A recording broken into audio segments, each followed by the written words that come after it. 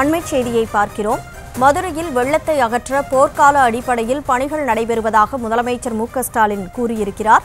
மருத்துவ முகாம்கள் இருபது இடங்களில் அமைக்கப்பட்டிருப்பதாகவும் முதலமைச்சர் தெரிவித்திருக்கிறார். மருத்துவ முகாம்கள் இருபது இடங்களில் ஏற்படுத்தப்பட்டுள்ளதாகவும் முதலமைச்சர் மு ஸ்டாலின் தற்போது தெரிவித்திருக்கிறார்.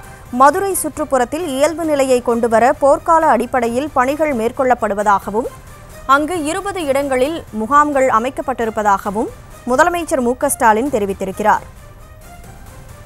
கூடுதல் விவரங்களோடு செய்தியாளர் பாரி கார்த்திக் இணைப்பில் இருக்கிறார். பாரி கார்த்திக் வணக்கம். முன்னதாக வெள்ள பாதிப்பு ஏற்பட்ட பகுதிகளில் அமைச்சர்கள் போய் ஆய்வுப் பணியில் ஈடுபட்டாங்க. தொடர்ந்து முதலமைச்சர் போர்க்கால அடிப்படையில் பணிகள் மேற்கொள்ளப்பட்டிருக்கிறதா சொல்லியிருக்கிறாரு. முழு விவரங்களை வழங்கலாம்.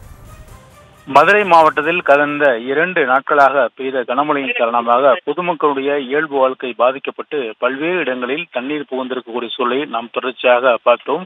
மதுரை மாவட்டத்தில் நேற்று பெய்த கனமழையின் காரணமாக மதுரை மாநகரின் பல்வேறு பகுதிகளில் பாதிப்பு ஏற்பட்டுள்ளதை முதலமைச்சர் உடனடியாக அங்கு இருக்கக்கூடிய அதிகாரிகள் மற்றும் அமைச்சர்களுக்கு பணிகளை செய்ய உத்தரவிட்டிருக்கிறார். பொதுமக்கள் எந்த அளவுக்கும் பாதிக்காத வகையில் உடனடியாக பணிகளை மேற்கொள்ள வேண்டும் என்றும் உத்தரவிட்டிருக்கிறார்.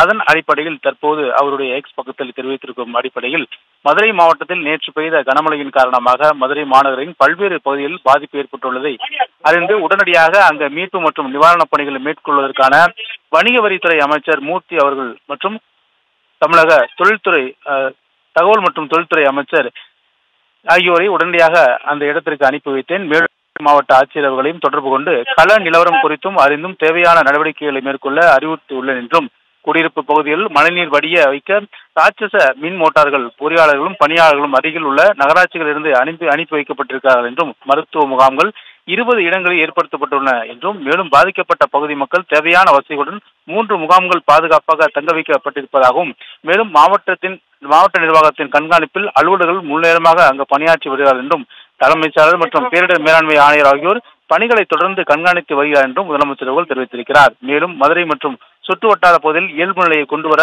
போர்க்கால அடிப்படையில் அரசு அனைத்து பணிகளையும் முடக்கிவிட்டிருப்பதாகவும் முதலமைச்சர் அவர்கள் தற்போது தன்னுடைய எக்ஸ் பக்கத்தில் தெரிவித்திருக்கிறார்.